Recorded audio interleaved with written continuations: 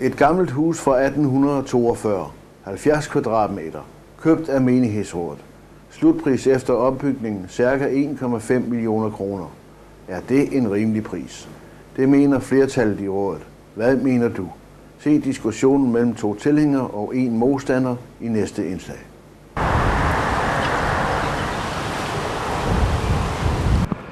Køb af et gammelt hus ved kirkepladsen har interesseret en hel del mennesker her i byen. Det har bragt store overskrifter i avisen, og det har så også fået MLTV til at se på sagen. Jeg vil gerne lige prøve af at rise nogle fakta op. Det her det drejer sig om et hus fra 1842, og så vidt jeg ved, skulle det ikke være fredet. Dets eneste forbindelse til kirken er, at det er bygget ind i kirkegården Stendige. Det er købt for 350.000 cirka for nogle år siden, uden at man dengang egentlig vidste, hvad man vil bruge det til. Et medlem stemte imod købet og har siden stemt imod hele renoveringen. Renoveringen og købsprisen bliver formodentlig omkring 1,5 millioner. Huset er på cirka 70 kvadratmeter, og for at få lidt rege på tingene, har vi inviteret formanden for menighedsrådet, Orla Drejer, som står her med venstre side, og vi har inviteret byggevalgets formand, Svend Ove Edvardsen, som står der, og medlem af øh, rådet, John Nye Madsen. Men jeg vil starte med dig, øh, Orla. Hvad ved I rundt med huset? Jamen altså, da huset blev til salg der i 2002, så blev vi enige om i øh, rådet, at vi ville købe det. Og øh, for vi synes, at det lå jo dejligt tæt på kirken, jo ligger jo i skæld til kirken, så, så vi overvejede os, det gjorde vi så, så købte vi det så.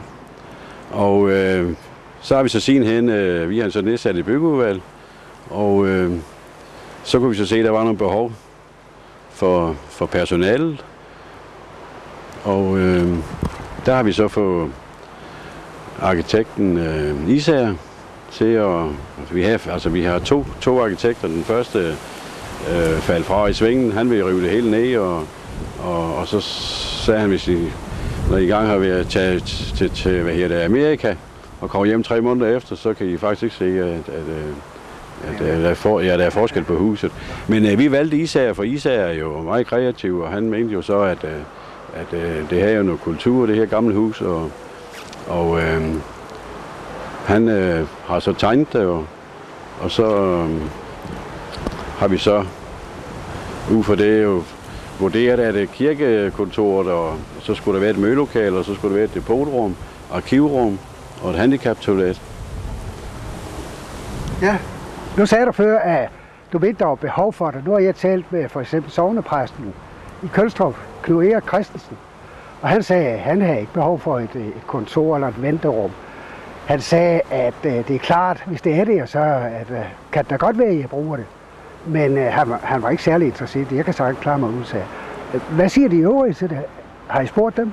Jamen, jeg ved da i hvert fald, at sent som organisten med hans kor, og når der er optræden op i kirken, at øh, når der skal klædes om, så er der da mulighed heroppe for, ikke? Og, og uh, det, uh, organisten har der også øh, sagt, at ønsket om et behov for, for et rum, hvor han kan have sine ting, så, og så om præsten vil bruge det eller ej over i Kølstrup, det er også op til ham jo. Jamen, der er det mange gange, uh, Orla. Er det ikke sådan, at hvis, hvis uh, muligheder skaber behov, ikke? Altså, man klarer sig med, hvis der lige pludselig er en mulighed for et eller andet, jamen, så har man behovet. Jo, det kan da være rigtigt nok, men, øh, men øh, vi mener selvfølgelig, at der er et behov for det, eller har vi jo ikke øh, gået ind i det jo. Okay, jeg går over til øh, formanden for byggevalget, Svend Ove Edvardsen. Og du er formand for byggevalget, Svend Ove. Ja. Synes du, at et hus på 70 meter, der kommer til at koste omkring halvanden million, er det en rimelig pris? Ja, det synes jeg i og for sig, for vi har, vi har også fået tilbud på, som Orla sagde, for at revet det gamle ned og bygge nyt. Og det bliver jo ikke billigere. Det bliver ikke billigere? Det bliver ikke billigere, nej. Så det må være en nogenlunde realistisk pris. Ja, hvis man, og... hvis man nu prøver at kigge på det og siger 1,5 millioner i går, ja. det er så inklusiv købet af det gamle hus mm. og 70 kvadratmeter. Hvis jeg dividerer det op i 1,5 millioner, sådan cirka, så når jeg på en kvadratmeterpris på knap 22.000, 21.500. Og jeg står her med en salgsopstilling på et, et øh, nyere hus med 127 kvadratmeter. Mm. Med delvis udsigt over nord, nyt bagværelse, jeg skal give dig. Der er kvadratmeterprisen cirka 8600. Hvad siger du til det? Alle installationer. Jeg mener ikke, du kan sammenligne med sådan et helt almindeligt parcelhus. Nej. Det vil blive lidt dyrere kvadratmeterpris her. Jamen, det tager også siges, det er lidt. Jamen, det er det. Men øh, altså, vi indretter handicap-toiletter, Ja. og vi øh, bruger selvfølgelig gedine materialer rundt omkring over det hele, for det skal få en rimelig kvalitet. ja. Men der er så også langt fra 8600 op til cirka 22.000. Jamen, det, det, det er der selvfølgelig, ja. Find, jeg, jeg tænker på, Svend Ove, og det kan, andre kan så blande sig, hvis de har lyst. Findes der ikke andre muligheder? Altså jeg tænker på, øh, hvis man nu kigger over og bygge, tilbygge i forhold til det, der er det over nu, konfirmandstuer og kontorer osv., kunne der ikke lade sig gøre at lave en, en uh, mindre tilbygning, der skal ikke være så store. Her der er nogle rum, som, som måske kunne udlæses, hvis det var. Øh, uh, vil det ikke være både en nemmere og en billigere, eller en bedre og en billigere løsning? Jeg vil ikke nødvendigvis være bedre og billigere, for blandt andet øh, uh, handicap det kommer til at ligge meget fint her, med adgang lige direkte fra kirkegården og ind. Og det mangler jo i dag. Det vil ligge lidt afsides derovre i det andet hus. Ja, jeg vil give ret i, det en, en meget stor. Det kunne gøres billigere derovre med tilbygningen. Og jeg synes jeg også, der er noget væsentligt i, at vi bevarer det gamle hus her. Nu er jeg lidt historisk interesseret, og det, det er jo et gammelt hus fra 1842. Som, og jeg synes, der, der bliver revet så meget ned her i Munkebol, og jeg er blevet det så. Når der er en mulighed for at bevare nogle af de gamle huse, så... Synes du, det er særligt bevaringsværdigt? Ja, det synes jeg. Synes du? Jeg synes egentlig, det er et kønt hus. Det har været, så vidt jeg er orienteret, det har været undersøgt, og det har været stået i avisen for længe siden, at det kun har været brugt til beboelse siden 1842. Så det er jo ikke så noget særligt enestående. Nej, men 1842, er det, det nærmer sig da et par hundrede år sådan. Og vi ved, hvordan det brændte i sin tid, i forbindelse med, at præstegården brændte ned. Og, Jamen, det jeg tænkte på også, det var, at øh, når vi tænker på, at der er, en, hvad er der, en 50-60 meter over til de andre faciliteter, jeg synes, det, det virker lidt øh, forkert, at det ligger adskilt fra, fordi øh, udnyttelsesgraden må efter min opfattelse blive, vi blive bedre, hvis det lå samlet derovre. det kan jeg ikke lige se, for konfirmandstuen og kirkekontoret har ikke umiddelbart noget med hinanden at gøre. Kirkekontoret kan udmærket ligge her, Ja, ja, ja. selvom konfirmandstuen er over den anden. Ja, ja, det kan det godt. Men øh, hvis man er udvidet med 70 kvadratmeter derovre, så kunne der måske blive plads til noget andet. Vi har samtidig, eller flere, jeg har i hvert fald to gange været ude for, at der bestemt ikke har været for meget plads derovre til, til alle de gæster, der har været i forbindelse med for eksempel Kristi Himmel, nej, langfredagsgudstjenesten, og et stort besøgt møde sidste år, hvor vi var langt over 100. Jo, men der er det så også tanken at bruge pladsen derovre og, og lave en udvidelse derovre, ja, så der bliver bedre mødefaciliteter derovre. John, nu må jeg vende mig til dig. Du er jo kritiker og modstander af, af forløbet, ikke? og det har du været lige fra starten af. Hvorfor er du imod? Er, er, du, er du imod, at der skabes bedre faciliteter til, til de mennesker, som Nej, altså jeg, jeg, jeg vil godt skrue filmen helt tilbage til starten. På, altså det første, jeg hørte om det her hus, det var forhenværende formand Møller, som drog bort. Ja, desværre. Han øh, foreslog, at vi skulle tale om det her hus, som han havde set var til salg, men han syntes ikke, vi skulle købe det. Og det var vi sådan set enige om alle sammen på det tidspunkt. Så gik der cirka, efter at der var kommet en ny formand, så gik der vel et års tid. Og pludselig kom det op igen, at vi skulle købe det her hus, og øh, det kom på et menighedsrådsmøde. Og øh, det skulle gå så hurtigt, selvom huset på det tidspunkt havde stået til salg i over et år. Og det skulle gå så hurtigt, at øh, vi nåede ikke over at se huset. Der var ikke nogen, øh, der nåede over at se huset, inden at vi havde købt det. Inden at vi havde besluttet, at der var nogen, der skulle købe det. Og det, der må jeg så sige vi jo, fordi vi jo alle sammen... Øh, jeg var i mindretal, jeg var imod fra starten af. Jeg sagde, at jeg synes ikke, at vi skulle købe det her hus. Når vi nu engang havde vedtaget ikke at købe det. Hvorfor skulle Må, vi så må jeg lige bryde ind? Ja. Uh, du nævnte formand, det var ikke Orla Drejer, så vidt jeg er orienteret. Nej, altså det var ikke Orla Drejer, det var Helga. Det var Helga her. Ja, det var det. Helge Eriksen, som, som sagde, at nu skulle vi købe det. Og øh, det var så vedtaget, inden at vi gik hjem, at, at man skulle købe det hus. Man skulle arbejde videre med det. Og man var helt indstillet på at betale den pris, der blev for langt for det. Og der er Hvad jo- vil I bruge det til dengang? Jamen, øh, man ville købe det, fordi at det var et bevaringsværdigt hus, og det lå i diget. Og øh, så blev det talt allerede på det tidspunkt om, at man kunne så renovere det, og samlede pris, inklusiv renovering, 7-800.000, inklusiv købet. Og øh, det, det troede jeg ikke på, at det kunne holde. Plus at jeg så også sagde, at jeg synes, at, at man skulle overveje at bygge til de bestående konfirmandstuer, i stedet for kontoret Det kunne man jo fint have gjort i stedet for, men det blev så afvist med, at, at der ikke måtte bygges derop så tæt på kirkegården. Men det var der altså ikke nogen, der spurgte om, og det kunne man jo have gået i gang med at undersøge, da det her hus stadigvæk stod til salg, og formentlig stadigvæk ville stå til salg et halvt år efter. Så var der jo ikke noget, der hastede, men alt blev kørt igennem så hurtigt, at og det viser sig også, at en af meningsrådsmedlemmerne en uge efter, eller 14 dage efter, kom til mig og sagde, at øh, ja, hun vidste ikke engang, hvad det var for et hus, vi havde købt. Hun troede faktisk, det var huset ved siden af. Og det, øh, det synes jeg jo var lidt uheldigt. Men det var så, fordi det hele skulle gå så hurtigt. Må jeg lige spørge formanden om en ting? Øh, jeg tænkte på, øh, det der med, øh, som, som John nævner, med at bygge til over ved, det var, det var noget, det jeg var inde på, uafhængigt af John jo, det har jeg ikke snakket med John om, det, det er noget, I selv har gået og tænkt på, jeg var nede og kigge på det i går. Ville det ikke være en idé? Kan man ikke nå at stoppe det endnu? Nej, det, tror- nej, det kan vi jo ikke, fordi at, ja, det kan man så, men nu har vi jo købt huset jo, og så, så, så og vi har jo, altså, vi har jo ingen planer om, at, øh, at vi skulle bygge til over i, i det eksisterende derovre. Det, det har vi ikke. Nej, okay. Der vil, der vil jeg jo så sige, at, at, at selvom vi har købt det her hus, så har jeg jo så undersøgt, spurgt provsten, og hun har sagt, at man kunne bare rive det her hus ned. Og der, der er blevet ikke talt om, at, at altså, hvis der er noget fredning, så må man jo undersøge det selvfølgelig. Men ellers så kunne man jo overveje at sælge huset igen. Om så det koster menighedsrådet 50.000 eller 100.000, så er det dog en meget lille udgift i forhold til det. Man kan også se, at allerede nu er det, er det helt galopperet. Altså man snakker om 1,5, 3, 6 i overslaget. Der er godt nok sat 200.000 ekstra af, men hvad nu hvis det ikke holder? Så er vi oppe på 1,9 millioner, kan jeg da regne ud, sådan ved hovedregning. Så skulle det ikke undre mig, at vi kommer op på tæt på de to. Det er ligesom det, jeg har gået og frygtet for, at man vil brænde 200, 2 millioner af på det her hus. Så snakker vi om næsten 30.000 per kvadratmeter. Så det er det dyreste hus i byen i hvert fald. Det er ikke det billigste i hvert fald. Nej, og det synes jeg ikke, det er værd. Nej. Og jeg synes, beliggenheden, ja, den, altså fra kirkegården, der, der, der ligger den der meget sødt her. Men, men, men det er så også stort set det pæneste, man kan sige om den. Fordi ser man den anden vej fra, så er det jo et meget indelukket, indeklemt hus. Ja, hvad nu, hvis man rev huset ned? Hvad kunne man så bruge grunden til? Ja, nok ikke så meget, undtagen at det vil give lidt luft omkring kirken. Det kan man så sige, det har været dyrt at, at købe luft. Men, Hvad, hvad med, mangler vi parkeringspladser for eksempel? Kunne det bruges til det? Ja, det kunne det godt. Altså, vi mangler jo parkeringspladser. Det, det gør vi af og til. Men, men vi har jo meget plads i forvejen ved kirken. Altså, vi har jo andre steder, hvor vi så kunne overveje det. Så kunne man jo overveje det på den anden side af kirkegården jo. Vi har jo meget jord. Det er ikke, det er ikke jord, vi mangler. Nej. Ja, tak. Øh, Ola, jeg vender mig til dig igen. Øh, det var det, vi lige hørte for, uh, før, at uh, John Yge fortalte, at det var op for nogle år siden. Der erkendte man, at man faktisk ikke havde brug for huset. Det var, var det Helga, der udtalte det, så vidt jeg husker.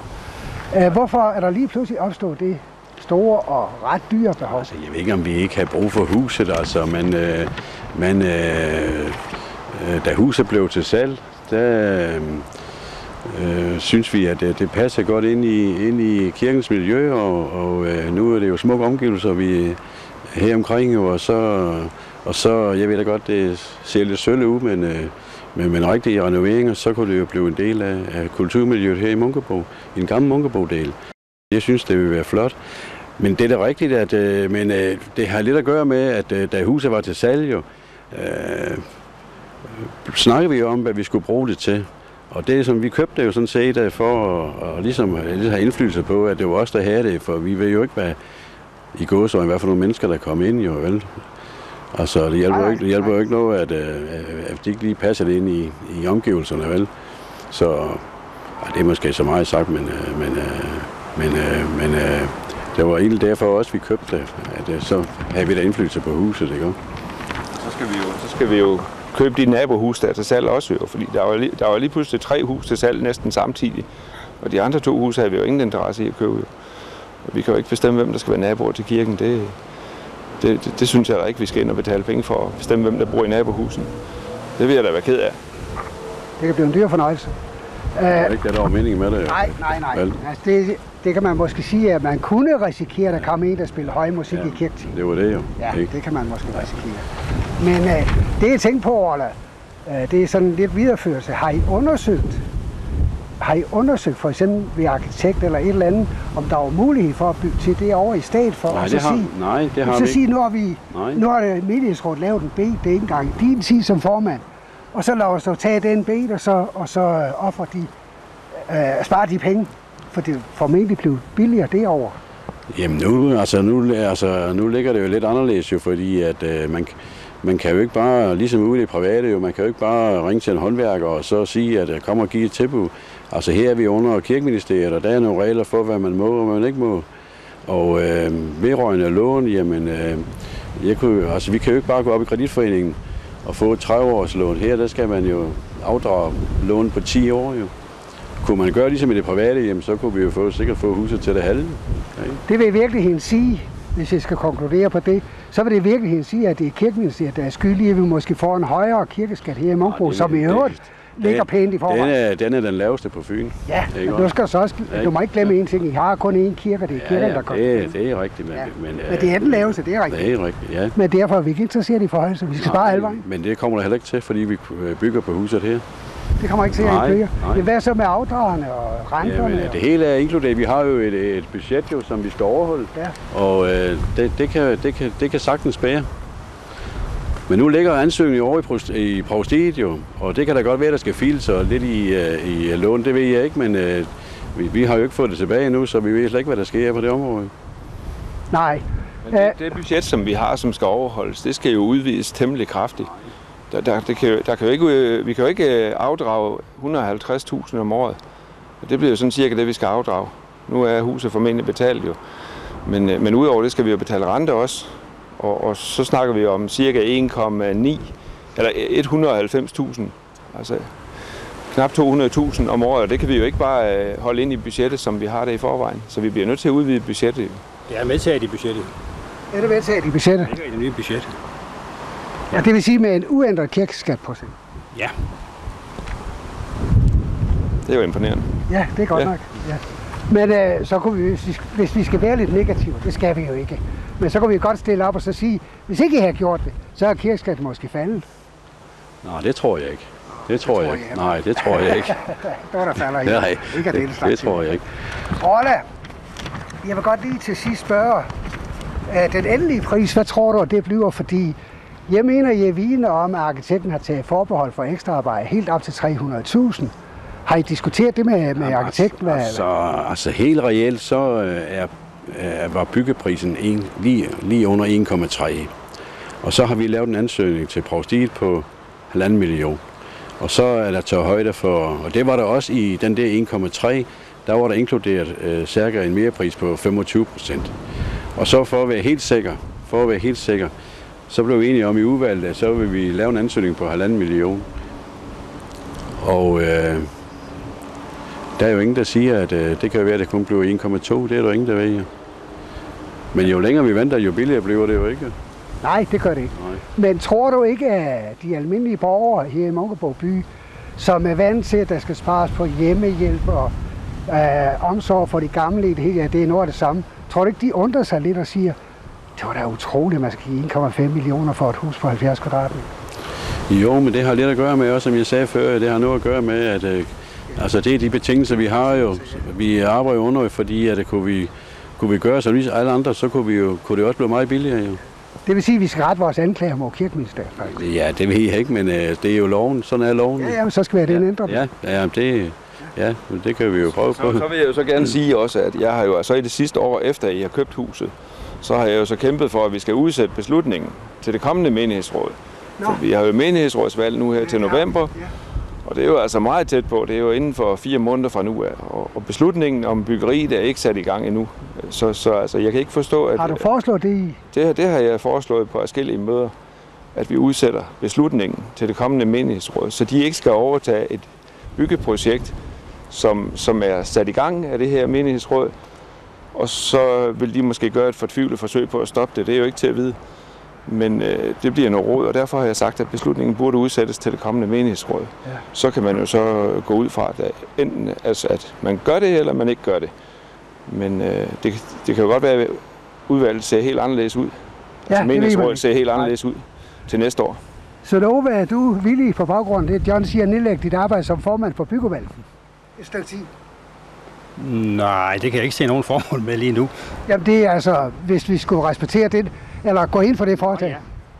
Det det, vi- Men altså, nu er det jo, det er jo en, en demokratisk beslutning, der er taget i menighedsrådet med et meget stort flertal. Det er faktisk kun John, der er imod, så, så jeg synes ikke, der er grund til at, at ændre det. Og du har slet ikke kan jeg må, jeg, må jeg godt spørge, om, om du så er besluttet på at fortsætte i det kommende menighedsråd? Nej, det, Det vil jo være skidt, hvis formanden er væk efter. nej, det har jo ikke noget med det at gøre. ah, du tror ikke, vi skal diskutere menighedsrådsvalg her. Det kommer til, til november, er det vist. Så det tror jeg ikke, vi skal tage forskud på her. Men som en af dine partifælder går ud fra, tidligere har sagt en meget klog bemærkning, man har et standpunkt til, at man tager et nyt. Ja, det er rigtigt. Var det ikke en idé i den sag her, måske? Jamen det kan I ikke, jamen, det kan I ikke se, fordi at nu har vi jo, nu har vi jo huset, og, øh, og øh, jeg synes, det kunne blive et godt hus. At så, at, øh, at, så, øh, at øh, måske, at, øh, at, øh, at prisen øh, at den er høj, det, det, kan, det kan da, er den da, men øh, det er der jo sin grund til. Og øh, det kan da også være, at vi over for provstiet får at vide, at vi måske skal file lidt, eller det, det ved jeg ikke, vi har ikke hørt derovre fra. Så, men øh, det er der mange penge, det er det der. Men øh, det koster det. Ja, det Og, så, og jeg mener, så længe at, øh, at øh, det ikke går over skatborgernes penge, jo, altså forstået på den måde, nu skal det ikke være negativt jo, men øh, altså, vi, vi får ikke lov til at sætte hverken kommuneskat eller, eller kirkeskatten op, fordi vi skal renovere her. Det gør vi ikke. Det er jeg nødt til at spørge, hvem skal så betale? Ja, det står jeg lige og tænke på, at vi ikke Hvem skal så betale, Orla? Der, der er der ikke andre til at betale end en, en, en kirkeskatteyderne. Og det er jo stort set alle skatteborgere i byen, der, der kommer til at betale for det her. Og selvom, Vi skal jo ikke betale mere, jo. på, for Ja. jeg kan altså ikke klare Nej, to på en. men vi skal jo ikke betale mere jo. Vi skal jo ikke betale mere jo. Vi har jo et, et budget, som vi et, et budget, som vi kører efter jo, ikke? Og det overholder vi. Jo, men, men bud- budgettet er jo så, fordi I har regnet de her tal ind i. Budgettet er jo fastsat ud fra det, at I har lagt de 200.000 oveni. Og, og Ja, det budget Men vil det- være noget lavere. Budgettet vil jo være lavere, hvis vi ikke tog de 200.000 Det med. Så der er altså nogle penge at spare. gør vi kirkeskatten. Nej, det vil da måske ikke nævneværdigt. det gør det ikke. Nej, men jeg ved ikke, er der flere bemærkninger? Har du noget at sige, Svend? Nej, jeg mener ikke, der er yderligere at sige til. Er der flere bemærkninger, for så... Har du mere, vi gerne have frem? Nej, men jeg havde jo håbet på, at, at øh, man kunne have sat det her i gang her efter sommerferien, så det gamle menighedsråd kunne have afsluttet med, med et godt hus til, at- til, at til medarbejderne og, og til personalet. Ja, det er så det samme jo, men, øh, men i hvert fald til sådan at, at, at man har afsluttet nu sæsonen her, eller perioden med, med et, et godt bygningsværk. Var det så egentlig det, jeg udsætte, hvis det kan lade sig gøre til, til den nye menighedsråd? Nej, men det ved jeg ikke, om vi skal udsætte det, men øh, det kommer nok helt af sig selv, fordi at, øh, at, øh, at nu skal det jo ikke, som sagt, er det jo igennem provstiet, og så skal det jo behandles ind i stiftet, og nu er vi hen i midt i juni, så, så det løser sig nok sig selv på den måde. Vi kan konstatere, at det er kun jer, der har taget de hurtige beslutninger. De gør det ikke. Øh, jeg vil sige tak, fordi I stillede op. Tak til formand, og tak til formand for byggevalg, og tak til dig, John, som kritiker. Og så vil jeg sige tak for den gang.